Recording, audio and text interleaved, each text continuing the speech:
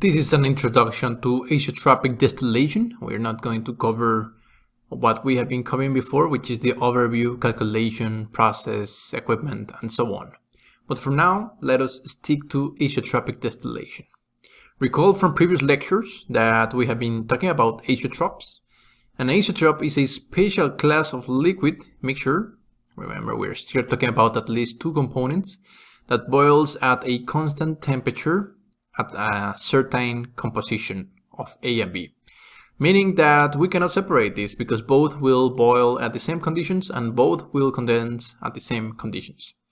It behaves technically as if it were a new component, let it be component AB, with one constant boiling point. This is of course uh, at the given temperature and pressure. Well, of course, temperature will change, but at the given pressure, we have these phenomena. Such mixture can be separated using, uh, cannot, sorry, be separated using conventional distillation methods. So if you were to flash it, you will obtain AB in the vapor phase or in the liquid phase. You will not be able to separate into A and B. If you will, if you were to separate these with fractionation column, and even though you add a thousand equilibrium stages, you will not be able to separate these into A and B. If you were to do this via batch, no matter what type of arrangement you have, you will not be able to separate these into A and B.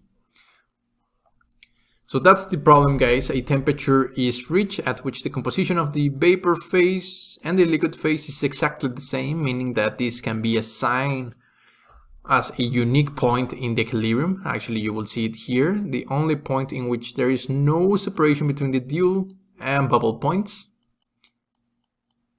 The composition of the liquid and vapor phase will remain the same unless we change uh, something.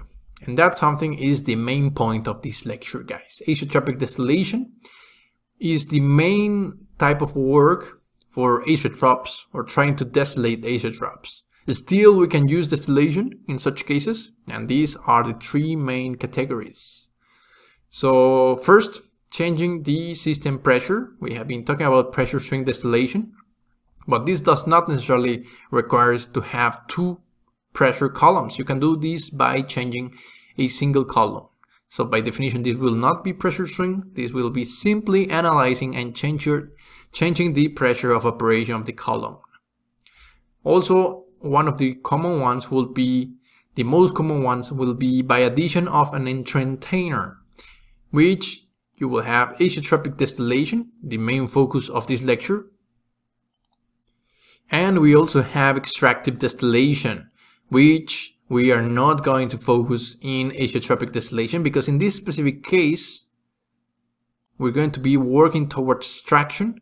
And in azeotropic distillation, typically we work towards the separation or changing that point and eventually recycling the entrainer while in the extractive distillation we're going to be focusing on extraction. Make no worries, I am going to show you specifics on azeotropic distillation, on extractive distillation, and later on a lecture which uh, makes the main differences and similarities on these two main uh, processes in distillation. And the third category will be a combination of several processes, a hybrid system, either you use distillation, then use membranes and recycling, or you use distillation and then you use extraction, and so on. There are many ways in, in which you could actually add several separation systems, the so-called hybrid systems, in order to solve the azeotropic distillation. We're going to cover uh, azeotropic distillation first, which is the main case in which we add an entrainer and sulfurate. Extractive distillation will come afterwards.